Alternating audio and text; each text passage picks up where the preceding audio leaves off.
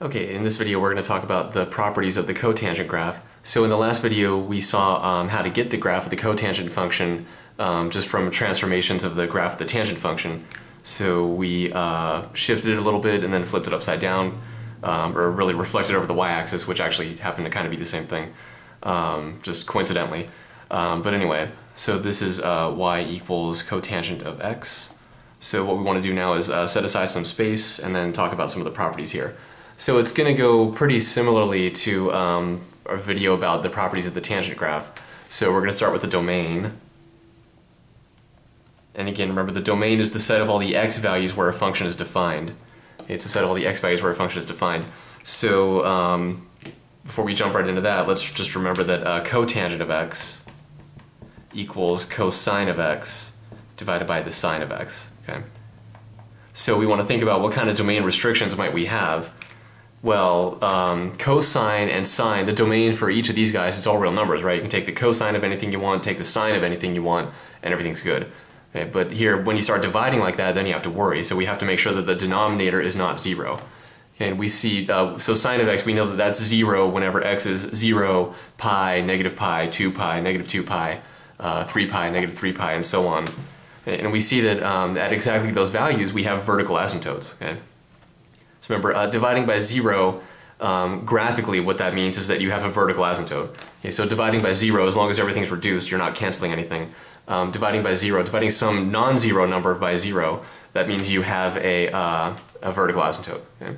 So sine of 0, 0, sine of pi is 0, sine of 2 pi is 0, sine of negative pi is 0. So there's vertical asymptotes at all, at all those places. Okay, so basically the domain, um, so all the other real numbers, everything else is okay. Okay, so everything except numbers that make sine of x equal to zero. So if we want to say that in words, what we would say is uh, all, uh, all real x except for uh, the zeros of sine. Okay, so that's how we'd say it in words. How might we express it mathematically? So we could use set builder notation, and we could say uh, all x such that x does not equal k pi, where k is any integer.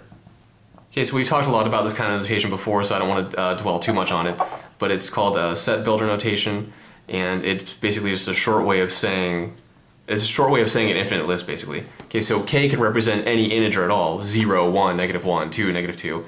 So if k is 0, then x becomes 0, and x is not allowed to be 0, as we see here, vertical asymptote. Okay? Um, and if k is 1, then x becomes pi, and x is not allowed to be pi, so that's why we have the not equal sign here. Okay, so all real values of x are allowed, except um, for k pi, but k pi represents all the zeros of sine. Okay, so this right here is just a mathematical way of saying this English sentence here. Okay. Uh, English sentence, although maybe incomplete, so all real x except for the zeros of sine. Um, anyway, so that's the domain here mathematically. So the next thing we want to talk about is the range. And luckily, just like the uh, tangent function, the range is relatively simple. So just like the tangent function, we have these arrows up here that just mean uh, the graph keeps going infinitely far up. Arrows down here, the graph keeps going infinitely far down. So no matter how far up you go in the positive y direction, you'll always have a point on the graph somewhere. No matter how far down you go in the negative y direction, you'll always have a point on the graph somewhere. Okay. So basically, um, you can go as far up as you want, as far down as you want. You'll always have a y value somewhere on the graph. So another way of saying that is there is no y value that is not on the graph. So in other words, every y value appears somewhere on the graph. So since the range covers all the possible y values, um, every single one of them, then the range is negative infinity to positive infinity, or if you want to say that in words, uh, all real numbers. All real numbers. Okay. So, that says real. Try that one more time. Not much better. Okay, so anyway, that's the range. Uh, so domain and range. Uh, next, we should probably talk about the period real quick. So the period, we've actually mentioned this before, um, and it is the same as the tangent, but the period is just pi. Okay, so we talked about it before. We've actually used that fact before to evaluate trig functions and uh, see some properties on the unit circle, things like that. But now we're going to talk about it graphically. so we see that since the period is pi, what that means is every pi units, the, the function just repeats the same values. Okay, so we see that every pi units, uh, the graph is repeating itself. Okay? So from 0 to pi, that's a distance of pi units. Okay, so if we take this little piece here from 0 to pi, if we go over to the right pi units, so from pi to 2 pi, it's the exact same shape. Okay? And here from 0 to pi, if we go to the left pi units, so from negative pi to 0, that's the exact same shape. Okay, so if you keep going over by pi units, you're going to have that same exact shape. So 0 to pi, that shape. Pi to 2 pi, that shape. 2 pi to 3 pi, that same shape. 3 pi to 4 pi, 4 pi to 5 pi, 5 pi to 6 pi, and so on and so forth. Okay, so you can go infinitely far to the right and infinitely far to the left. You're always going to have this shape repeating every pi units. Okay, so that's um, that's what it means graphically um, in terms of the period here. So that's what the period means there. Um, period of pi units means every pi units the graph just repeats itself. Um, okay, so domain, range, and period. The next thing to talk about is uh, vertical asymptotes, which I'll abbreviate VA. So VA short for vertical asymptotes. So um, we talked about it briefly when we talked about the domain, but basically you have a vertical asymptote here whenever your denominator is zero. Okay, so it's just like rational functions and rational type functions in pre-calculus or college algebra. You know, you got polynomials on top and the bottom. Um, whenever the bottom is zero, as long as the top is not also zero, uh, you'll have a vertical asymptote. Okay. So, um, yeah, if the top and bottom are zero at the same time, then you don't have an asymptote, you have a hole. Um, but that's not going to happen here because cosine and sine, they're never zero at the same time. Okay, they can, they're both zero at infinitely many points, but they're different points. Okay, so cosine um, is zero uh, and sine is zero, but they're never zero at the same time. Okay, so nothing like nothing crazy like that happens here, so there's nothing to worry about. That's good, really, really good. So basically, the vertical asymptotes um, they happen at all the breaks in the domain. Okay, everything that's not in the domain is actually where we have vertical asymptotes. So what we want to do then, and we don't want to use set builder notation for vertical asymptotes because vertical asymptotes are lines, so we want to express them as uh, equations of lines. So vertical asymptotes, uh, x equals k pi, where k is any integer.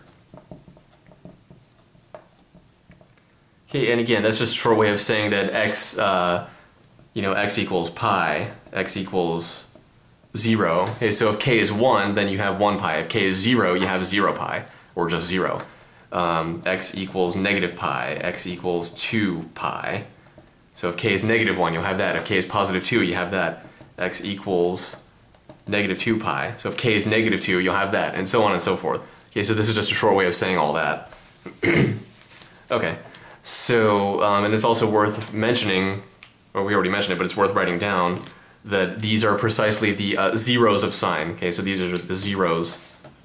So you have vertical, the, the cotangent function has vertical asymptotes at the zeros of the sine function.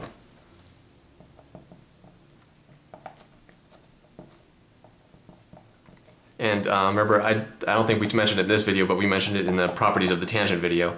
Um, remember, a zero of a function, it's a pre-calculus college algebra term. Uh, a zero of a function is just some number that makes that function equal to zero.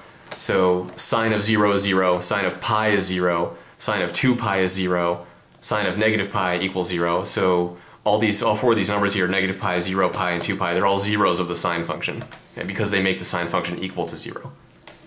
Okay, so uh, that's vertical asymptotes. Now what about um, x-intercepts.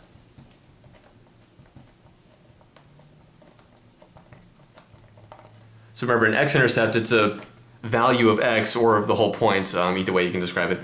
But it's basically, it's a place where you're on the x-axis, okay? Whether you're touching it or crossing it. So you could cross it, cross over, you can touch and turn around. Um, as long as you're on the x-axis, that's an x-intercept. Okay, so um, where do we have x-intercept here? Well, here's one at negative pi over 2, positive pi over 2, positive 3 pi over 2, uh, there will be another one at 5 pi over 2, 7 pi over 2. There will be another one at negative 3 pi over 2, negative 5 pi over 2, and so on and so forth. Okay, So um, basically 1 times pi over 2, 3 times pi over 2, 5 times pi over 2, 7 times pi over 2, negative 1 times pi over 2, negative 3 times pi over 2. So um, that's all the odd numbers, odd integers multiplied by pi over 2. And um, we mentioned that in the last video also, or not really the last video, but in the properties of the tangent graph. Um, we mentioned that, and what are those? Those are the zeros of the cosine function, right?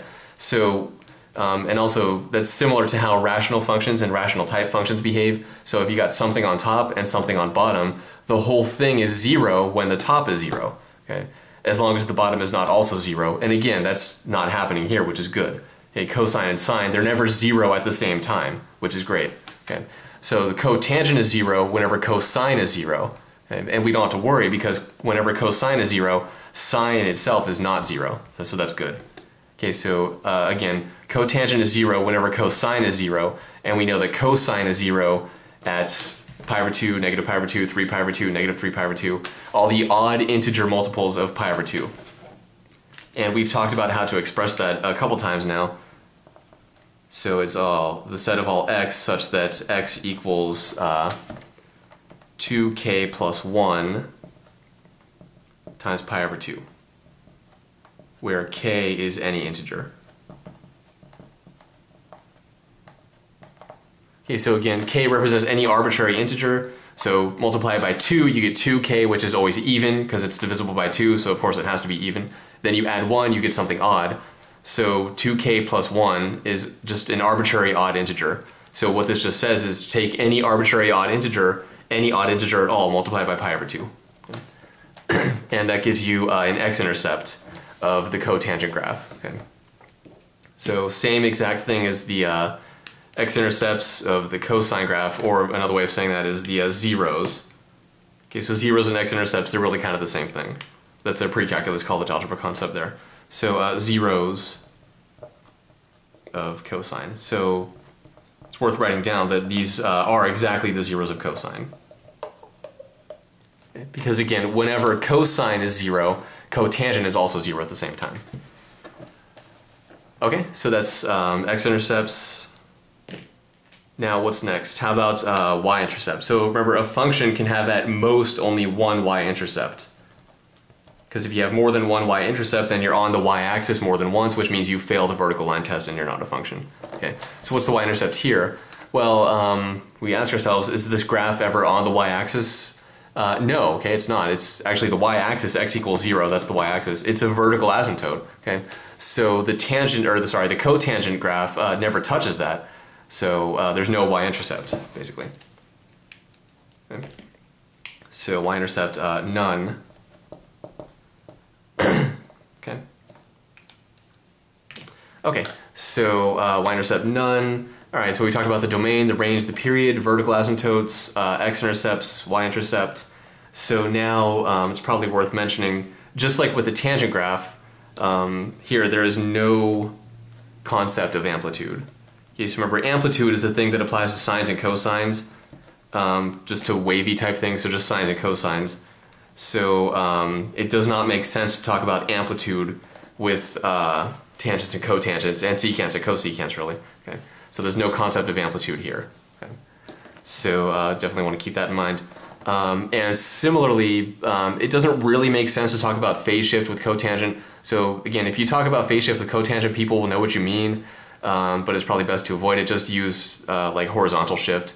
Because um, phase shift, people generally use that just for waves like sines and cosines. Um, but you know, strictly speaking, it's sort of like that. But it's uh, people will know what you mean otherwise. Um, but you know, with amplitude, it just does not make sense to use amplitude with cotangent. There's nothing really, there's nothing there. There's nothing to talk about with amplitude. Okay, but phase shift, it just means horizontal shift, but people generally only use that for waves, like sine and cosine. okay, so um, one last thing worth mentioning is uh, cotangent. Uh, just like the tangent function, cotangent is an odd function. Okay, so cotangent is odd function. So just like with the tangent function, what that means uh, is cotangent of negative x equals negative cotangent of x. Okay, okay. so um, we've used this fact before with, um, you know, on the unit circle evaluating cotangent at certain points, things like that. Um, but now in terms of the graph, uh, so what does it mean? What does it mean graphically? If you're an odd function graphically, so this is what it means algebraically. Okay, cotangent of negative x equals negative cotangent of x. That's what it means algebraically.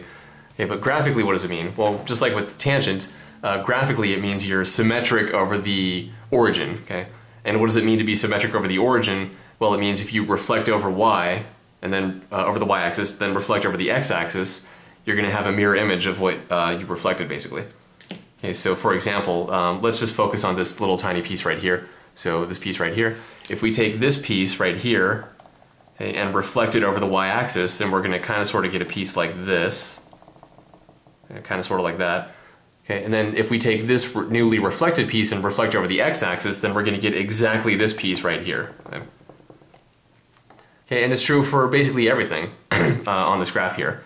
Okay, so this whole graph, you can reflect the whole graph over the y-axis, then reflect it all over the x-axis, and you're just going to get um, basically another piece of that graph back. Okay.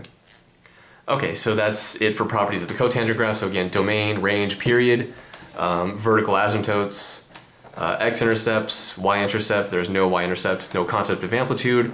Uh, phase shift, it's best to avoid talking about phase shift cotangent, maybe just use horizontal shift. Um, and cotangent is an odd function,